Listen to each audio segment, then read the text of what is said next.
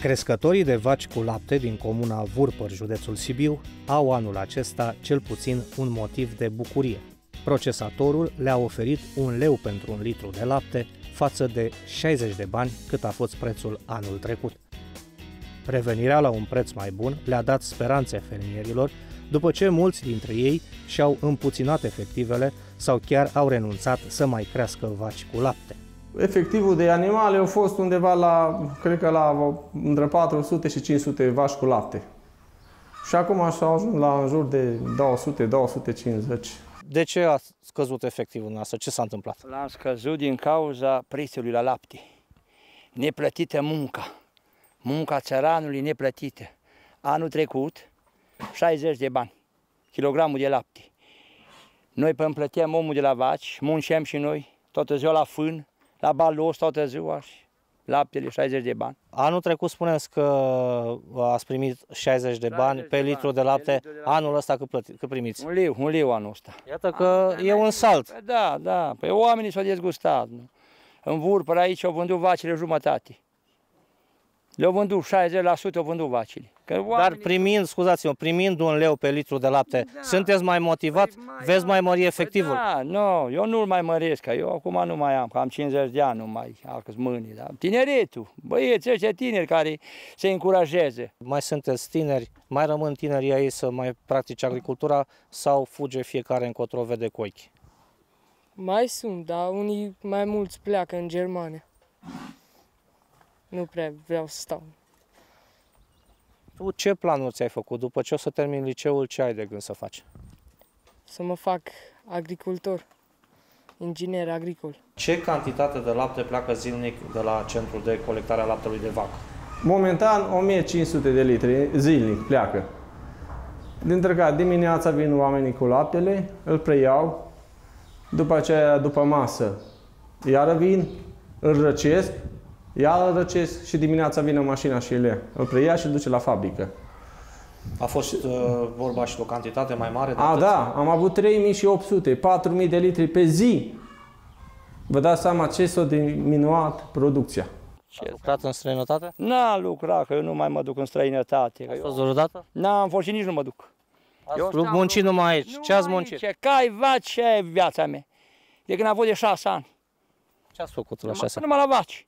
La CAP-ul? La CAP-ul, ajutam pe tata. Mulgem 4-5 vaci pe timpul lui Ceaușescu, ho, ho, lenic. Alte meserie eu nu știu, fără aia. Noi le ținem, le ținem și dacă nu ne dă statul deloc, le ține, că avem pasiunea asta, că ne place nou cu animalele, nou cu vacile, ăștia cu oile, fiecare cu... Da, după ce a fost desfințat CAP-ul, cum ați continuat cu creșterea vacilor? Cu vacile, am, de la CAP atunci am luat. Două, trei, patru, am ajuns până la 20 și anul trecut le-am vândut acum, nu de mult, de două luni numai pe șase. Ionică Dietrich este în prezent unul dintre cei mai activi crescători de vaci cu lapte din Vurpăr, dar în trecut și-a încercat omul norocul și în domeniul procesării laptelui. Prima dată am investit în fabrica de lapte, am uh, făcut lapte la pungă, am făcut LMA, am făcut smântână, brânză de vaci, pe care o distribuiam la Sibiu, prin diferite magazine. Uh, am avut uh, contracte cu armata, cu poliția, am dus și în țară, în uh, Brăila, dar pe parcursul timpului, tot mai multe greutăți am întâmpinat din cauza birocrației. Tot mai multe acte, tot mai multe probleme. Și în 2003 am decis, am închis și m-am axat pe vaci. Dețin un număr de 28 de vaci, în care am și viței. Am uh, produs cam de la ele cam 10 tone pe lună în perioada verii. Și deci 10.000 de litri de lapte pe lună. lună. 10.000 de litri de lapte într-o lună. De câți ani mulți vaca? De 5 ani. De 5 ani. Cine te-a învățat? Tata. Uh, unde ești la școală? Uh, la liceul uh, județul Sibiu, la liceul Avram Iancu. E în oraș, în Sibiu, da. Avram Iancu? Da. Acum ești în vacanță? Uh, încă nu, mai am două săptămâni de practică. Ce profil are liceul tău? Tâmplărie, silvicultură și mecanică. Uite, trei meserii nobile, a spune. Uh, când ai vacanță, nu vii aici în Vurpăr și îți, ajungi, îți ajuți părinții la treburile uh, agricole. Da. Ce faci tu de-a lungul unei zile de vară, de vacanță aici în Vurpăr? Uh, viu la vaci, mă uit de ele, le dau apă, mă uit să văd dacă trebuie una să fete și după aceea viu peste două ore la mulți. Dumneavoastră gestionați un uh, Centru, centru de colectare, gestionez centru de colectare, aici se face analizele, după care vine mașina, preia laptele, îl duce la fabrică, se face cașcaval, se face iaurduri, se face brânză de vaci, se face diferite sortimente de cașcavaluri, s-au făcut acum. Subvențiile agricole sunt binevenite cu două condiții. Să fie mari, cât mai mari, iar Apia să nu mai facă niciun fel de control. Nu e așa că ar fi minunat? Interlocutorii mei din Vurpăr nici nu primesc subvenții mari și nici nu au fost scutiți de sancțiuni. Ionica Dietrich a pățit-o pentru o livadă aflată la vremea aceea în conversie pentru certificare ecologică.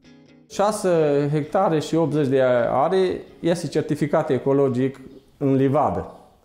Dar și aici vreau să spun că tot am ocazia, am întâmpinat o problemă foarte mare la ecologic. Uh, am adus, uh, când s-a făcut certificarea ecologică, s-a făcut prima dată pe 3 ani în converse. Deci eram 3 ani în converse. Dar, nu știu ce s-a întâmplat, au venit pe parcursul, după, nu primul an de converse, nici al doilea, în al treilea an, mi-a venit să plătesc înapoi 18.000 de lei. Bani nefiind luați, bani nefiind luați de la Apia. Că în conversie era 10, 8.000 de lei, 10 milioane cu bani vei. Și m-au penalizat cu 18.000 de lei. Dar cum au argumentat cei de la Apia? Și mi-au argumentat faptul că am bifat pe bio. Dar eu m-am dus la Apia, am făcut contestație, am dat actele, actele că sunt în conversie, nu sunt în bio și ei mi-au spus că eu, eu am, i-am înșelat. Nu mi-au dat 18.000 de lei, mi-au luat 18.000 de lei. Și mi-au trimis, am făcut contestație, mi-au trimis acasă o notificare și mi-au scris acolo că banii s-au recuperat. Nu știu cum, cum înțeleg.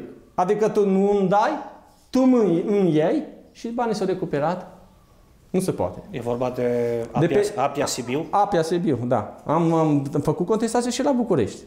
Și tot aceeași problemă ne-a venit. Nu să trebuie să te penalizăm că i-am înșelat. Dar nu mi-a dat banii. Dar ei mi-au luat 18.000 din celelalte hectare. Și în momentul de față mai mergeți pe da, m-am dus, că am certificare făcut, da, ecologică? Da, mă duc pe certificare ecologică prin faptul că eu am, am încheiat un contract pe perioadă de 5 ani și nu mai pot să dau înapoi. Că perioada a fost în 2009, 3 ani am fost în conversie și apoi am intrat în bio. Dar uh, certificarea ecologică ați făcut-o în cadrul acestui proiect mai mare la nivel de comună sau a fost o inițiativă a dumneavoastră personală? Au fost inițiative personală, adică, de exemplu, au mai fost și alți colegi care au făcut pentru livadă și așa. Și, pentru că în livadă la noi de după Revoluție nu s-a mai stropit niciun pom. Și au fost, niște, au fost un, un, un timp de au fost niște mere așa frumoase și prune, sănătoase, nestropite, fără vien. Fără... De ce? Înainte, înainte când Dumnezeu a binecuvântat țara și o binecuvântat pe om, era niște păsări care adunau omizile din pom. Dar omul o da cu erbicide, o da cu insecticide și păsările alea au plecat. Și acum, nefiind, nefiind dat iară cu erbicide și cu soluții, au început păsările iară să vină să adune omizile din pom. Și ne-am bucurat, dar totuși e o livadă înaintată în vârstă, are 40 și ceva de ani și nu mai produce odată la 4-5 ani. Produce... Cât primiți pentru un hectar de livadă certificată ecologic? Între 3 și 400 de euro. Și la ce suprafață?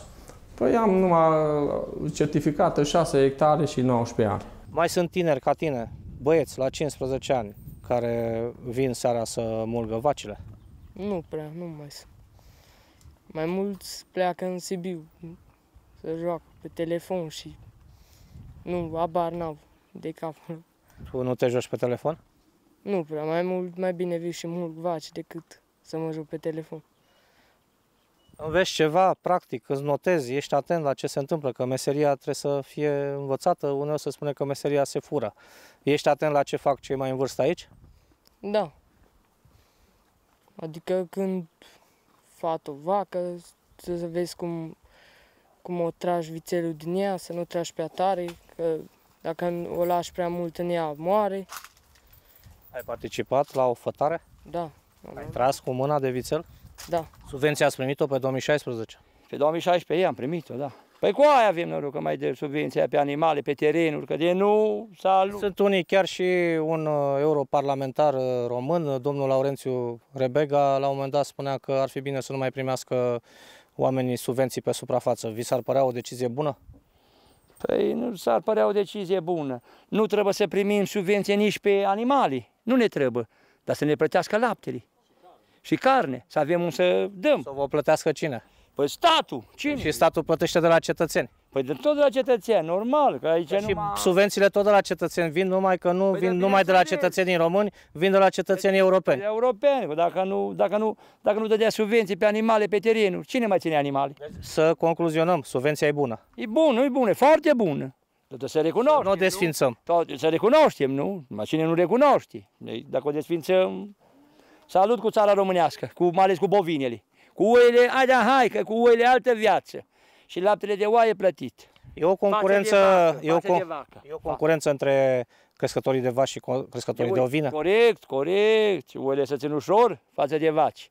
Vacile trebuie șapte luni, stabulate pe grajd. Oile tri. Dar e o concurență și pe pășuni? Pe pășul nu, dar la preț de lapte. 2,70 oaie. Vaca un leu. Bar am jumate să fie el de vacă, nu? Acum de oaie mai gras, normal, că înțelegem doar că oaia nu dă ca vaca, dar totuși, da? n-avem ce face. Agricultura, după 1990, a devenit cu timpul o afacere privată, dar fermierii cer mereu ajutorul statului, deși primesc diferite tipuri de subvenții. Solicită ajutorul și deseori îl și primesc, inclusiv mari fermieri cu afaceri de milioane bine plasate în piața liberă. Prin urmare, de ce n-ar cere sprijin din partea statului român și sătenii din vurpărul Sibiului? Dacă mergem afară și să vă arăt grajdul, am investit în jur de 25.000 de euro în grajdul acela. Și n-am vrut să mă retrag. Am vrut să mă duc înainte. Sper, sper că statul o să ne ajute, să ne dea o subvenție și pentru bazinul de urină, pentru în Elveția. Vine statul și îi ajută. Câți metri faci? Câte animale ai? Îi ajută. La noi nu ne ajută. Tu trebuie să te descurci singur. Știți că se plimbă foarte mult, domnul ministru, s-a să vă treziți într-o bună zi cu dânsul aici. Îl poftim, îl poftim. Îl poftim aici. Ia, și numai pe domnul ministru, pe ministrii ăștia care ies în agricultură. Cu ei avem noi problemă. Nu? Îi poftim aici. Avem frumos aici, umbră, frumos. Nu? Da, vă rog, vă vizitează, dar să se și rezolve ceva. Corect. corect. Dacă ar veni mâine ministrul Păi agriculturii la dumneavoastră, ce Asta aș e- cere? Asta e în România, asta e în România. Vorbe și fapte. Ce aș cere în primul rând? Ce l-ați ruga? I-aș Să, ce cere decizie să ia? Să crească prețul la lapte. Una. Păi nu poate să-l crească, Cre- prețul la lapte îl crește piața. Piața, păi da, da, cu 60 de bani anul trecut. Adică ați vrea să-l subvenționeze. Păi să subvenționeze, exact, asta e. Să nu mai dea pe animale, să dea la lapte subvenție. Că luăm mai bine. Cum au dat anii ăștia. Nu? Și să deschizi un abator, să avem să ducem animalele când pățim ceva cu ele, cu adultele, șchioape, oarbe, nu, se întâmplă. Și nu avea ce face cu ei. O dai la bandiți ăștia, la Cine-s bandiți? bătaie, bă, ăștia sunt țarii, ăia bandiți.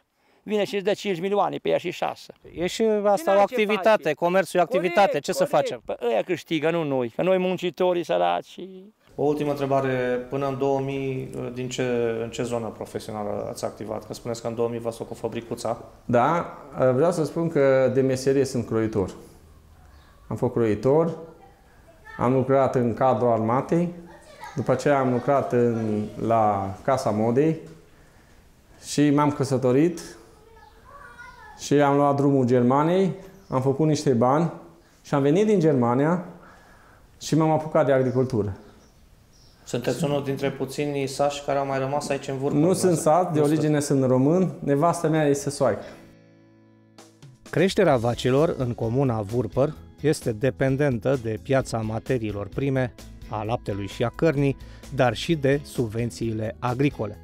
Fermierii sunt la datorie în fiecare zi ca să îngrijească văcuțele, dar duminica își fac timp să urmărească emisiunea noastră. Viața satului e emisiunea mea. Nu există o, o duminică să nu. Da, cum, cum, cum urmăriți viața satului? Presupun că aveți un caiet și un pix și vă notați, nu? Ca să nu vorbim în gol. La 10 jumate, duminica începe. Într-o ediție viitoare îi vom cunoaște și pe oierii din Vurpăr și vom afla cum a organizat primăria activitatea pastorală.